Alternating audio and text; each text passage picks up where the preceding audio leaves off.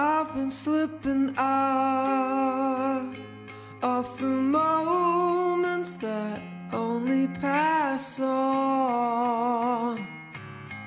I was dreaming what I was teaching you how to slow dance for him.